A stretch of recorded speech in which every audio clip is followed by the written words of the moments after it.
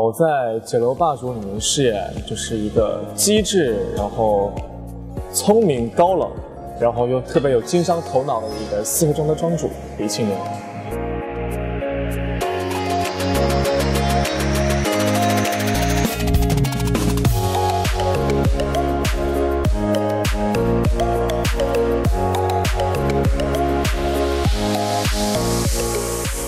这部剧讲述了唐朝一些关于丝绸文化，就是一些，嗯，关于丝绸的制作，从丝绸变成一件衣服，它的一个过程，还是挺新颖的。等于我饰演这个李清流呢，也相当于是一个在古代的一个服装设计师。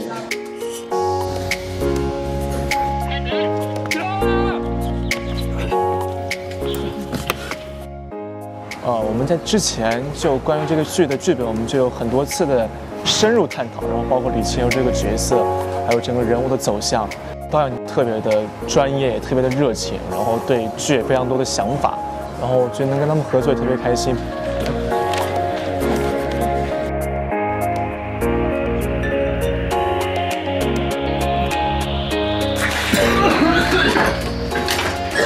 放，没有，那我就这样，那我就。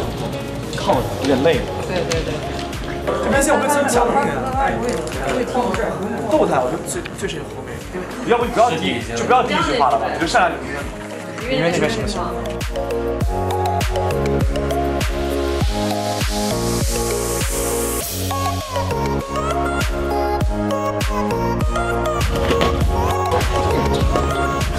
包括里面也有搞笑的，也有甜的。然后也有虐的，我觉得还是非常有看点。